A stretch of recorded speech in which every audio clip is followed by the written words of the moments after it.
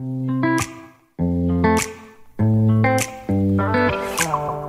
welcome. It's time to meet our community, the Hispanic business community here in Orange County. Powered by the Orange County Hispanic Chamber of Commerce and Orange County's only community radio station, OC Talk Radio. Streaming live from our studios here at the University of California Irvine's Beall Applied Innovation Center with a rare guest today here. We're, we're the second happiest place on earth, I think, here today because of our guest. Woohoo! I think you're right. Hey, thanks, Paul. Thanks for the introduction. Uh, Ruben Franco, President and CEO of the Orange County Hispanic Chamber of Commerce. Uh, we enjoy everyone being on our podcast because uh, our community is your community. We want to introduce you to what we do in the community. So we have a great guest today, a very special guest. We have Ken Potrock, the president from Disneyland Resort. Uh, Ken has uh, been a, a, great advocate for uh, what they do there at Disneyland, and we're looking forward to hearing some of the great things they have going on and finding out a little bit about Ken himself and uh, everything else. So we look forward to uh, having this discussion. And Ken, thank you very much for uh, joining us today. First thing we'd like to pretty much ask all of our guests is just tell us a little bit about yourself. Well, Ruben, it's great to be here, and thanks for having me. So, how do you tell somebody, you know, about yourself? I would start with family. I have uh, two sons, both adults. One's in college and one's in the computer science field. And I have a wife that's an actress, and we have a very happy life. And we are really loving being in California. We moved here a little over four years ago from Orlando, Florida. And I have fallen in love with California lifestyle and really all that California has to offer. Well, welcome to California. We appreciate you. Uh, Thanks. Great. You, you being here. And where did you grow up? So I was born and raised in the Bronx. My family was pretty typical immigrant story. My mom was from Poland, my dad was from Russia. They're, they were born there, and I'm first generation, my sister and I. You know, how do you make a living? How do you support your family? And so my family was in the initially the bakery business and then the restaurant business and and made a lives for ourselves. Uh, you know, my dad's goal was always about education and how do I make sure that my kids are really well educated. And you know one deli sandwich at a time he was able to fund our way to you know really great schools and great degrees. So i'm really proud of both my mom and dad. It's a great story a lot of great immigrant stories that you tell and what we tell our people that we get to hear from here on our podcast as well. So that's awesome. I think you told me briefly before when we were talking that when you grew up in the bronx the deli or the bakery was 50 yards from the old Yankee Stadium. Yeah, I have so many memories, Ruben. In any of these kind of families, everybody works, right? Right, and even when I was five or six years old, I remember literally being propped up on a on a, a chair in the bakery located right on what's called 161st Street and Jerome Avenue, 50 yards from the stadium, and I would be there working. You know, as a six year old, I was putting you know those bakery boxes. Oh, I yeah. was putting those bakery boxes together. I got paid a penny a box. Over about a two-hour period, I could knock off about a hundred of them, get my buck. You know, and I was rich. I Yeah. think that was a, a, a big deal. And throughout the day, famous Yankees would be coming by from the at that time the '60s, coming into the bakery to to buy their bread or their pastries, and you know, I'm walking out. And I would sit there and talk to them and get autographs from them. And, you know, honestly, we didn't think much of it because they were just part of the neighborhood. Right. Who was your favorite Yankee? Who was my favorite Yankee? I would probably say Roger Maris. Oh, if you wow. begin Okay. thinking about, Sure. you know, sort of the history of it. But there were so many guys that came in that were really kind to me. You know, and it was like like I became part of the sort of thread of, you know, the Bronx and that was really fun. And when did you move out of the Bronx, I guess? we left in the I'm going to call it the late 60s and you know again funny story but you know we got robbed a couple of times. Oh. and my dad was like I've had enough of this. And he had a family member located in of all places Akron Ohio. And they went into business together and started a delicatessen restaurant and bakery and catering operation which was there for 35 plus years. It became a stalwart of the community. So that was the shift from New Yorker to Midwesterner, and it was you know a really great transition for us. It was a great place to grow up. Wow. So you've lived on the East Coast. You lived in Middle America, which is, I think, I think in Ohio. Yeah. There's like Yep. within 500 mile radius that's half the country, right? Right. And then now you're here in California, so you've gotten to see. Uh, And I had a stint in Florida, so oh, that's right. and I You got south too. before you got here with Disneyland Resort, you, Right. were, you were in Orlando as well. Well, we'll- we can go into that a little bit as well. So I'm very confused, basically. Yeah, I would think so. That's covering a lot of the uh, of the country. So, how did you get your start with Disney? I mean, your career, you've been there 28 years, is that correct? 28 years. Okay. So, what what did you first do when you got uh, to Disney? Well, I applied for a job. I got called by a recruiter that said, "Hey, we have this job available at Disney. Would you be interested in it?" And I asked what the job was, and they go, "Well, they're starting this new business. The business was Disney Cruise Line, Oh, and we're looking for somebody to come in and head up marketing and head up product development." And I had done obviously a lot of marketing because I was coming from the ad agency business and marketing consulting, and I hadn't done a lot of development, but seemed like a good fit. And after 17 interviews and seven months of interviewing, I finally got the job. And it was a, a slog to get there, but it was a great place to start and a great business to start on. And then where did you go from there with with Disney? I mean, you started you started with the cruise line, and that was that was new. And that's based in Orlando, correct? Uh, based out of Orlando, headquarters right. was there, but sailing all over the world. Right.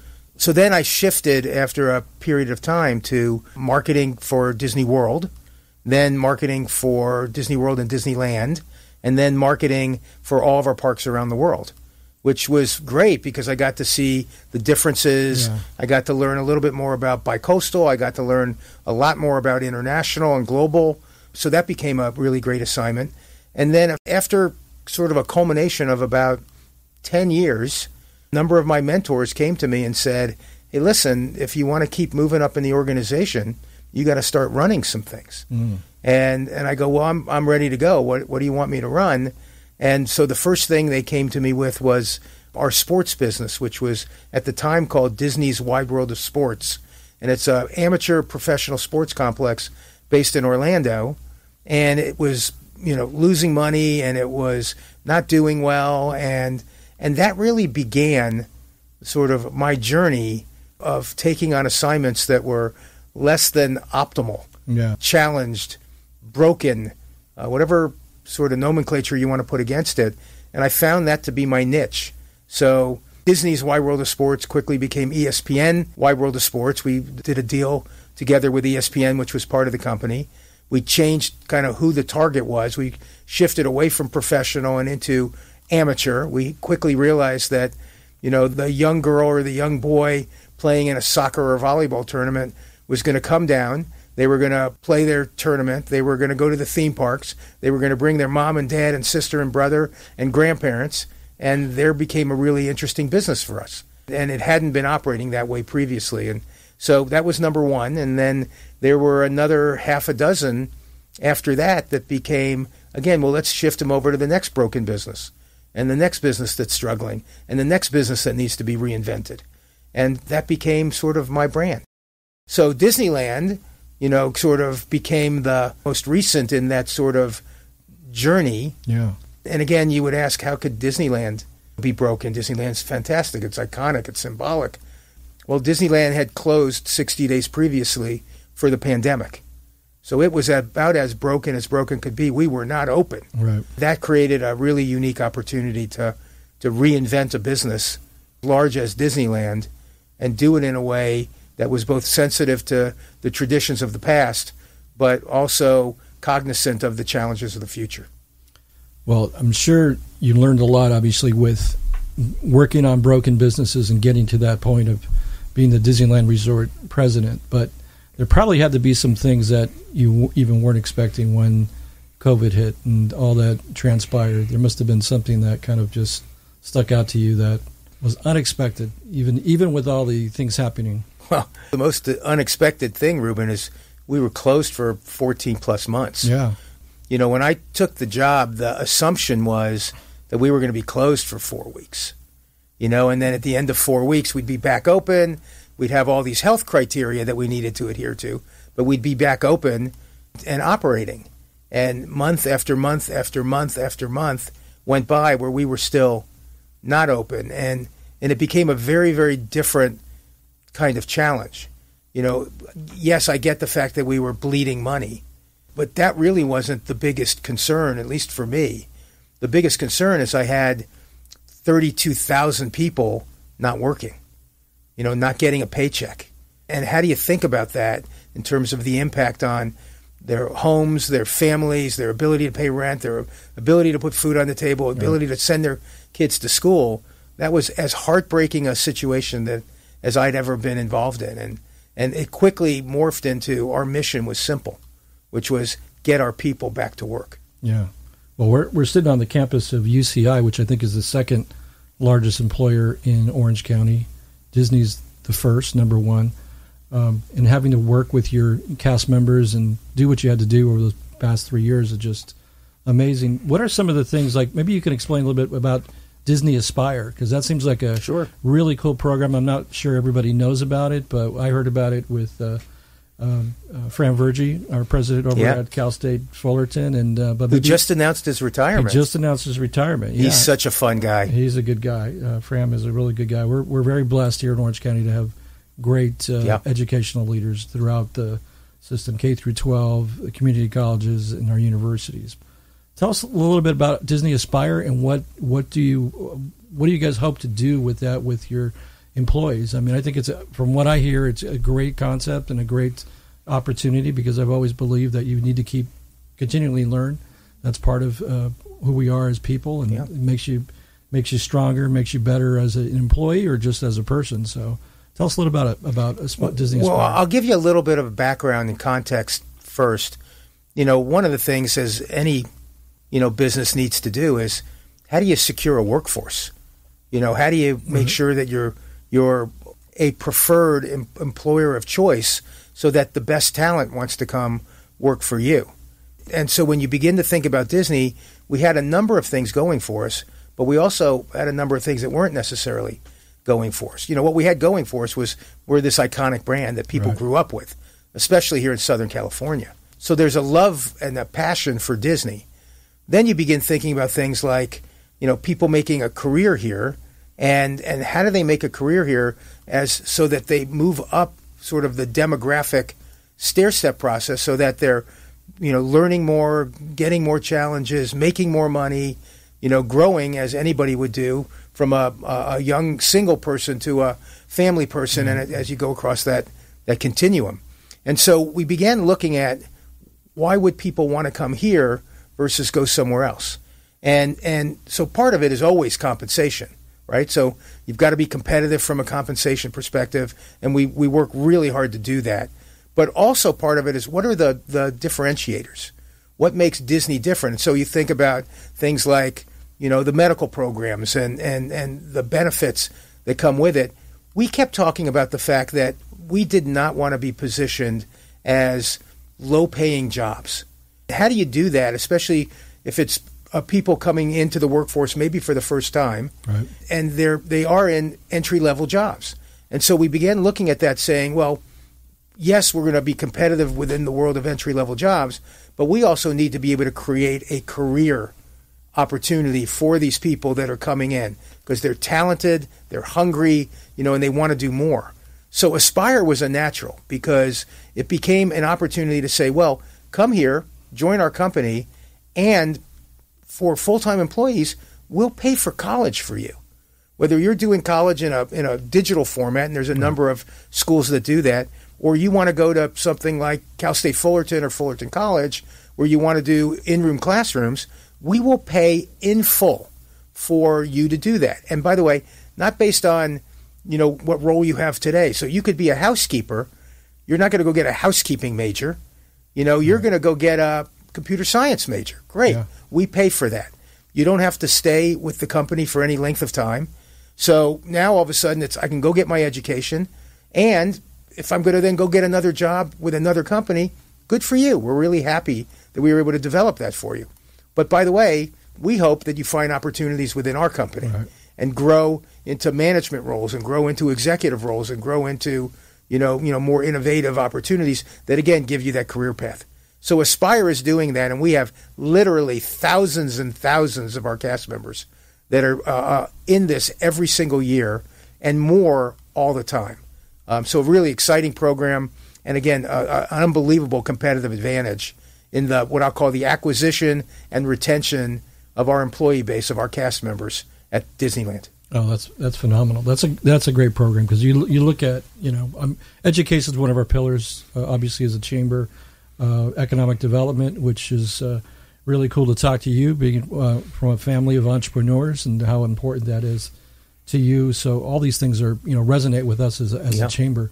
And the chamber was started. I don't know if everybody knows this was 37 years ago. This is our 37th anniversary. Not quite as long as Disneyland, but But congratulations, still in order. but thank you. Yeah, it's it's it's it's been a while, and uh, and Disney was there for us. You know, the first day. You know, when when it was open, I wasn't there 37 years ago, but it was started by some entrepreneurs Yeah. who just wanted some resources for their businesses, and and we're able to do that and continue to build on that every year.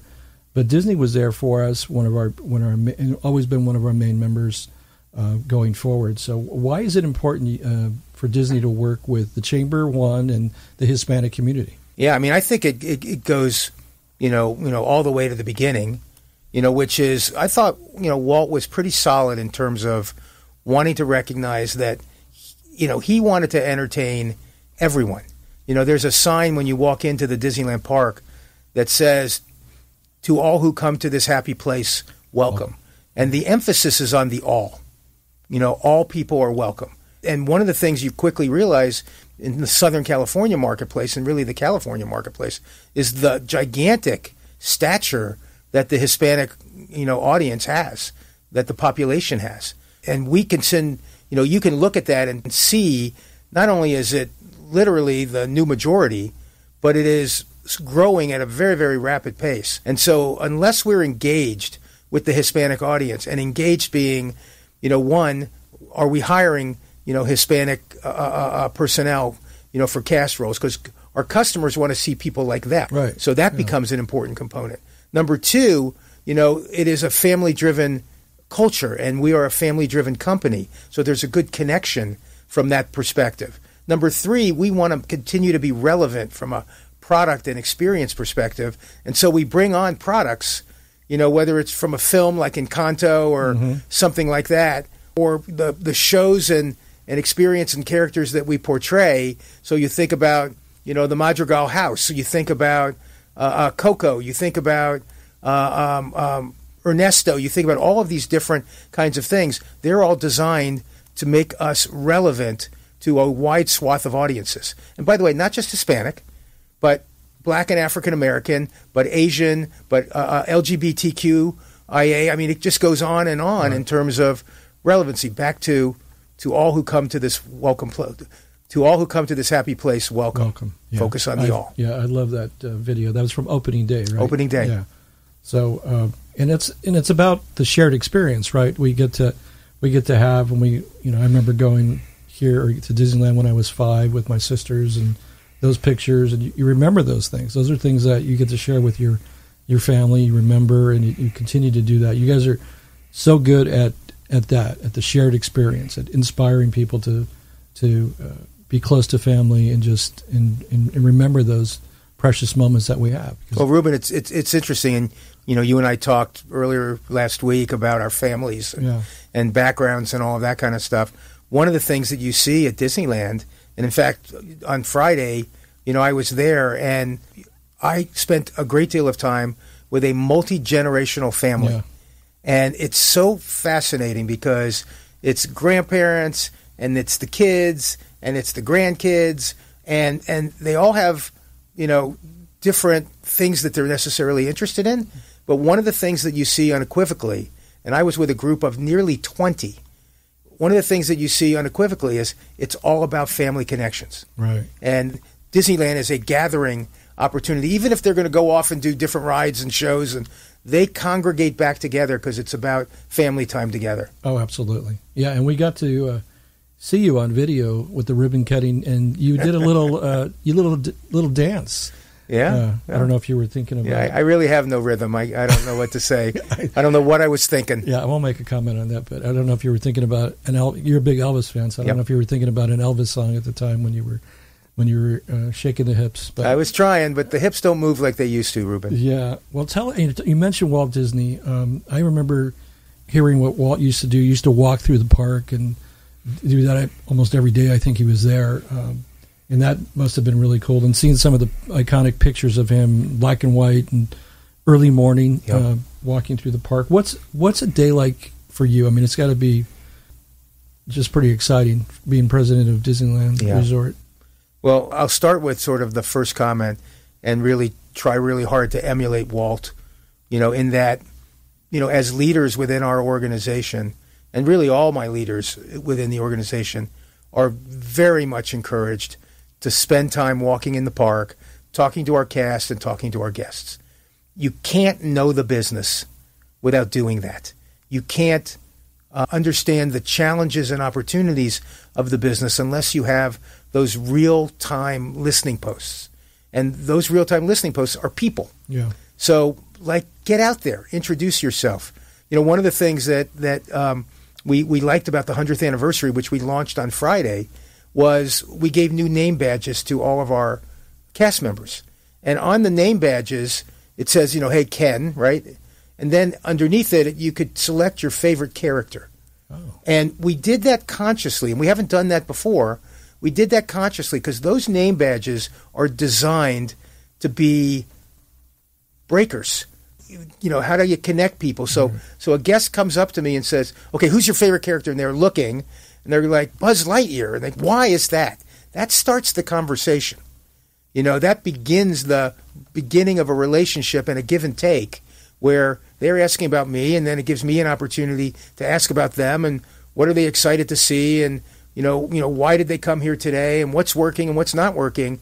I mean, it's market research and by the way, it's just being human Yeah. you know, and making those kind of connections.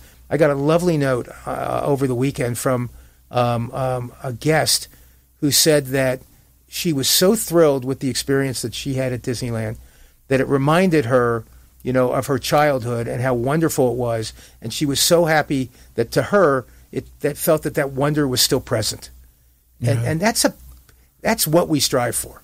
You know, it's it's it's not designed to be, you know, corporate, and it's not designed to be. How can we figure out how to extract, you know, as much revenue out of people as we Right. possibly can? It's designed to give people a memorable experience that's worth their investment of time mm. and treasure, and and that's what we try hard to do. We don't get it right 100 percent of the time, but we're working awfully hard to try to do yeah, that. you do you do a pretty good job at it, though. I must say, when my daughter was four, she's 25 now, but when she was four, we went on her birthday and they do the little badge and it says, you know, "Happy Birthday, Lauren," and there must have been like 20, 30 people that came up to her, cast members and others that just said, "Happy Birthday, Lauren," and she was just beaming. She thought the whole reason the park was open that day was for her. Was for her. I mean, she felt that. And by the way, that she should feel that. Yeah, and she certainly did, and we have pictures to prove it. And just, uh, I'll never forget that day for her, her fourth birthday. So, uh, pretty, pretty amazing. What if a mouse could change the world? What, What does that mean to you? What a, what a great question. So I'm gonna um, I'm gonna use a new show that we debuted on Friday as the example of that, and the show is called World of Color One, and it's a a, a, really exciting new presentation uh, at Disney's California Adventure that that that speaks to a number of different things using obviously Disney films and Disney dialogue and Disney heroes and heroines and all of that kind of stuff. But ultimately, the underlying message is it begins with a drop, a drop becomes a ripple, and a ripple becomes a wave of change. And one of the things that we want people to take away from that is the fact that they can have an impact on those around them, whether it's their family, their workplace, their community, and and I believe that kind of translates back to, you know, it, it all began, you know, you know, you know, by a mouse. How do you think about the fact that that that Mickey and Walt were that drop that then became that ripple, mm-hmm. that became that wave of innovation and imagination and the ability to dream and aspire. And and so I, th- I think about it that way a lot, and I try to convey that you know even to my sons, you know, which is what difference can you make, not just you know in your career, but you know for your friends, for your family, and and, and most importantly for the community around you. How do you do that? Yeah. Well, it's pretty amazing that the uh, progression, right? That's 1923. hundred years ago. Um, the park didn't open. Disneyland, which, which most people kind of uh, associate with Disney, right, is the the park. At least I did as a kid. But there's so much more, right? So it's just like you go. We start with a mouse at 23, and 32 years later, you have this really iconic Yeah. theme park. And you know, prior to that, you know, Walt had been doing movies and television and all that uh, stuff, and still is at a very, very high level. You know, and just uh, families get to enjoy that, and uh, it's just uh, just amazing. Uh, tell us a little bit more about the hundred year. What what guys have planned for this hundred Sure. year? Uh, Well, you know, the one of the things that I thought was interesting is that the parks have always been a manifestation and really a next level of the films or television or any of those things. So you can, you know, watch a TV show, you know, as a kid or as an adult, and there's a character there that you like. But to truly have an opportunity to bring them to life, now all of a sudden the dimensionality of a park experience is a whole different ballgame. right. You know, so whether that's Star Wars Galaxy's Edge or Avengers Campus or, you know, any number of, of sort of relevant experiences, you know, that we have in the park, I think that becomes the differentiator. 100th anniversary marks the 100th anniversary of the company. So you think about what are the films that have happened, the TV shows that have happened, the innovations that have happened, but one of the most iconic things that have happened are the theme parks. And the one that started it all Right. is the one right here in our backyard, you know, the Disneyland Resort. So we decided that while the entire company was going to celebrate the 100th anniversary, we were going to be the centerpiece. Mm-hmm. And we were going to do something that wasn't just for three weeks or two months. We said we're going to celebrate this for the entire year and we're going to throw the kitchen sink at it. And that's exactly what we've done. So we have created, you know, what we think is a spectacular experience for people to join us in marking this milestone. It begins with two nighttime spectaculars. I mentioned one of them to you, World of Color 1. Right. The other one is uh, um, Wondrous Journeys, which is the Castle Fireworks show um, that that we have. Both of them are drop the mic experiences. I mean, we saw this past week when we were debuting it, literally people crying watching these shows, and they are so moving because they're your favorite characters, they're your favorite dialogue, they're your favorite music, but brought to life from a visual smorgasbord, the likes of which you've never seen before. And so technology and innovation and you know how do you create new canvases and that's what the parks do. You know, create new canvases for storytelling. So that's the first part of it. We also opened up on Friday officially uh, a, a new attraction called Mickey and Minnie's Runaway Railway, um, which is a great family ride, any height, you know, any of those kinds of things uh, uh, does in an area that we call Toontown. And Toontown uh, is also under renovation. So we opened up the attraction, the ride, but in another four or five weeks, the rest of Toontown opens, and that's going to be a breakthrough for us because we redid the entire land, um, and we redid it with an unbelievable sensitivity to families with younger children, and importantly, with the younger children, younger children of all intellectual capabilities. How do you do that so Right. that if you know, sort of the frenetic pace is too much for one child, how do you create a respite opportunity for that child and the family? So we created things like picnic grounds and real grass that you can sit in. And you can sit down and your child can run around and play, and mom and dad could, you know, sit and, you know, have a beverage, and all of that kind of stuff becomes really an easier way to look at a Disney theme park experience in maybe a more relaxed way. So we are so excited to open up that new land, which again becomes part of this celebration. We've also redone or w- are redoing right now um, at California Adventure. We have an area called uh, uh, uh, um, Paradise Pier, and and one of the things that we're doing is we're redoing the entire thing. It's right now reflective of San Francisco, great, but it has no connection to Disney, what we call intellectual property. So we decided that we would convert that space into an area called San Fransokyo. And San Fransokyo is from a movie Big Hero 6. Right. And the favorite Great character in Big Hero 6 is a guy by the name of Baymax, which is a caring robot that takes care of the health needs of young children. And what an interesting storytelling device that is, and and we're incredibly excited to open that up this summer, which again I think will be big. In the meantime, Baymax is flying over that castle fireworks show that I told you about. He's flying over the castle as kind of a precursor to that land opening. So Wow. I think that'll be super fun, you know, as we go forward. And then beyond that, we have a new parade that's coming out uh, uh, in just a couple of weeks called Magic Happens, which, again, going back to pandemic, it was a brand new parade, and people loved it. And we ran it for 13 days, and then the pandemic hit.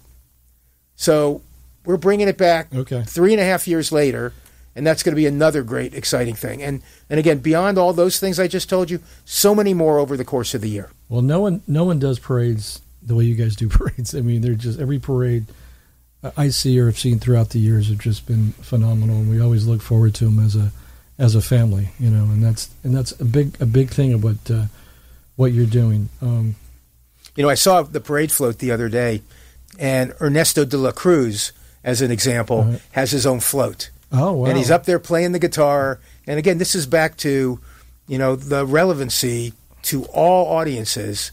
How do we make sure that, you know, even among the Hispanic audience, we have relevant product that has people wanting to come and share their culture, you know, with their family and learn about other cultures That's right. at the same time. That's right. What other future plans can you share with us about the resort? Well, I think the, the, the biggest thing that we've talked a lot about is so where does Disneyland, 68 years young, go from here? Yeah. And when, when, when I got to Disneyland, I had a bias already built in that was Disneyland was landlocked. As I've mm-hmm. learned over the course of the last couple of years, that is so far from the truth. We have plenty of land. What we don't have is what I'm going to call the entitlements to build hmm. things on the land that we own. And, and, and that goes back to an entitlement contract agreement that we did with the city of Anaheim 25 plus years ago. Okay. And at that time, it made perfect sense. As you go forward and the way people consume product today, they want things to be more integrated.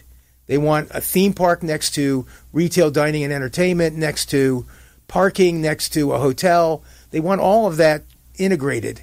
And we're not allowed to do that on the available lands that we have.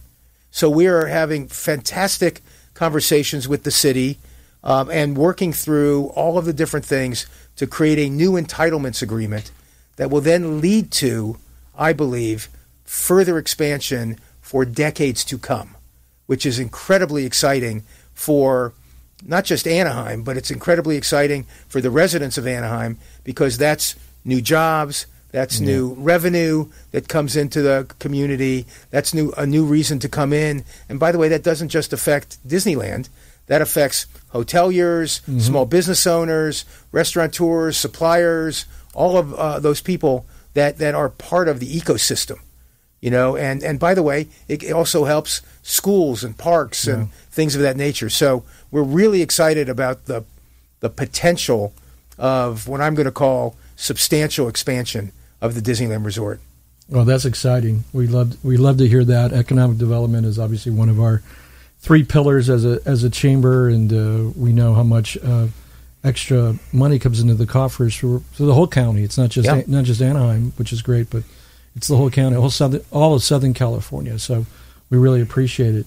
Well, we're running close to what time? How much more time do we have, Paul? A couple minutes left. Okay. Well, is there anything you uh, we haven't covered that you'd want to share with uh, us today? Yeah, the you know the the the one thing that I think we've been working really hard on is I'm going to call it listening. Right? You know, you know, as you can expect Disney, you know, and Disneyland in Southern California is a magnet for people's opinions and for coverage and all of those kinds of things. And we listen very intently to what people are saying. We do an enormous amount of market research. We do an enormous amount of talking to our guests and our cast. And listening is a big part of what we do. One of the things that we've heard a great deal about is pricing and value. And so we are really focused on that and making sure that we're communicating that there are different opportunities to come to Disneyland and experience a really valuable uh, uh, um, um, day in the park or days in the park. You just have to make sure that you're you're looking for the different angles. I'll give you examples. So our pricing you know, I've, I've read recently, you know, you, a day in the theme park is $179. Well, we have many days that are $104.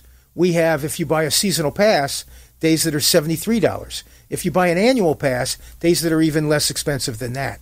Right. So the affordability opportunity is really important. And by the way, even among the Hispanic audience, we hear that affordability and value is a very important thing for them to uh, um, be motivated by right. as as they think about a trip to Disneyland. So that's one of the areas that we're very focused on. That adding other value besides price is also part of it. We just announced recently that we're um, doing park hopping two hours earlier.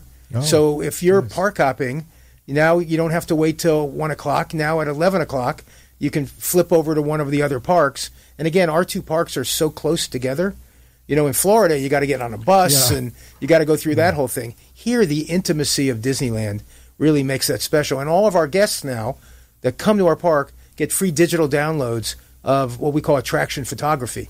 So all those memories, Ruben, that you were mentioning before, now that's on your phone and you can do what you want with those as well. So again, there's so many more of those kinds of things available and coming, which again is designed that to have that balance of let's make sure that we're giving a great experience that we're proud of, that is unlike anything else in the world, and that there are value opportunities for our guests that want to tap into that.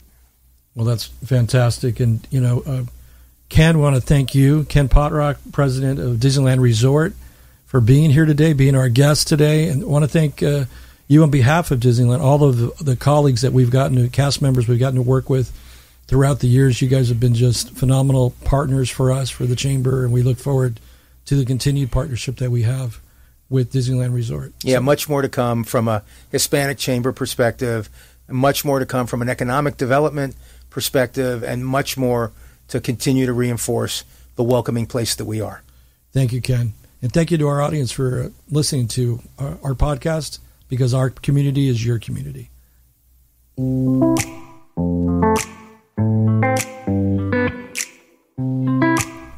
Well, there you have it. All sorts of good reasons to tune in each and every time here to meet our community, the Hispanic community here in Orange County. Powered by the Orange County Hispanic Chamber of Commerce and Orange County's only community radio station, OC Talk Radio, streaming live from our studios here at the University of California Irvine's Beall Applied Innovation Center.